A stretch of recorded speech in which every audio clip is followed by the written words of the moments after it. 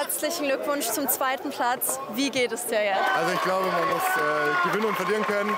Klar, erster Platz wäre schöner gewesen, aber ich bin sehr gerne auch gerade der zweite Platz. Ich meine, von so vielen Bewerbern den zweiten Platz zu machen, das ist trotzdem unglaublich. Ähm, ja, ich kann selbst noch nicht mehr glauben, dass wir gerade das Finale gemacht haben.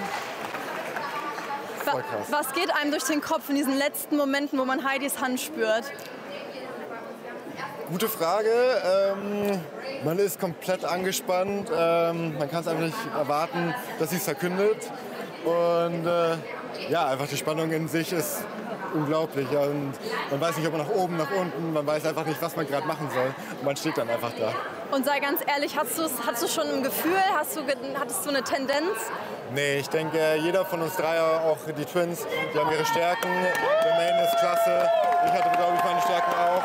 Ähm, ich denke, die Entscheidung wird schwer gewesen sein.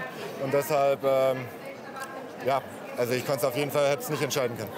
Wenn du auf diese ganzen Wochen zurückschaust, was war so ein Highlight? Mein Highlight war definitiv eigentlich das äh, Habas Bazaar Covershoot. Ähm, es war trotzdem ein wunderschönes Shooting. Ähm, wir hatten eine super Location. Es war unglaublich, einfach mal so, ein, so, eine Erfahrung auch zu machen, für so ein großes Magazin zu shooten. Und ja, der Heli war auch nicht schlecht. Und wie sieht dein Tag morgen aus? Weißt du das schon?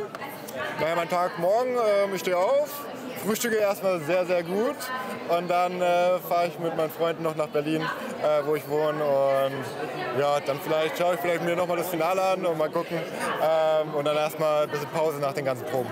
Sehr gut. Hast du ein abschließendes Wort, abschließende Worte an deine Community, an die ganzen Fans da draußen? Auf jeden Fall. Ich danke euch allen. Äh, ihr seid unglaublich. Ich bekomme so viele liebe Nachrichten von euch.